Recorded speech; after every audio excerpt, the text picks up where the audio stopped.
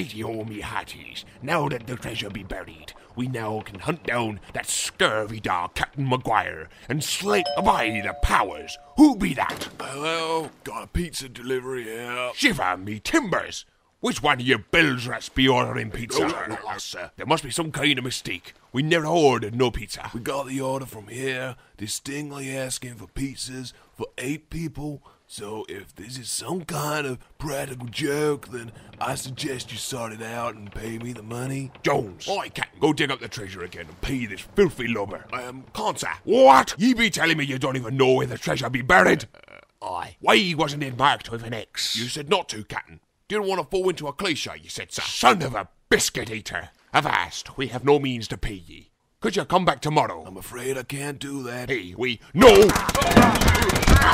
Have a nice day, sir. Wait, pieces for eight. Polly, have you? Ah, Pieces of eight, pieces of eight. Ah, you stupid bird.